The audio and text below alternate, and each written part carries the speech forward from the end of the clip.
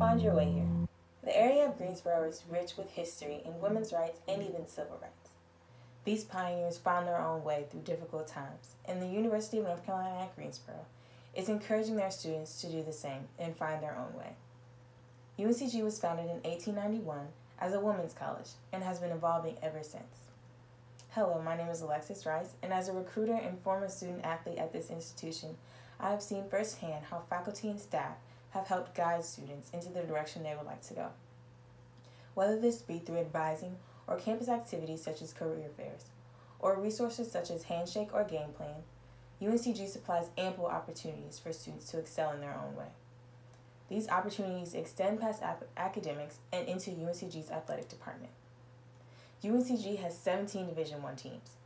Under Athletic Director Kim Records, and with the resource the Spartan Academic Support Services, or SAS, athletes are given the resources to boost their self-esteem academically while feeling as though they, are, they belong to a close-knit unit.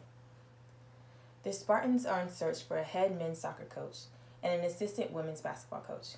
These coaches should have prior coaching experience and CPR certifications, just to name a few of the qualifications that we're looking for. We ask that our coaches be able to assist our athletes with all academic and athletic endeavors. The Spartans have developed a new initiative entitled The Spartan Way. This initiative, initiative was started in 2017 and will continue on to 2022. New athletic faculty should be able to fit this mold and assist as we make an effort to develop champions in life with our athletes. This strategic plan is based on six guiding principles and is under the name STRIDE. STRIDE standing for S, student athlete well-being, T, teamwork, R, responsibility, I, integrity, D, development, and E, excellence. When looking at S, student athlete well-being, we are dedicated to our athletes as a whole. This includes health, safety, and personal growth. When looking at T, teamwork, we as a department are inclusive, collaborative, and we respect individual differences of athletes. When looking at R, responsibility, we hold ourselves accountable for the reputation of the university and the aspirations of student athletes and the staff we serve. When looking at I, integrity, we stick to the rules and operate with high standards of character and personal behavior. Looking at D, development, we transform lives in the community we serve by molding leaders and productive citizens.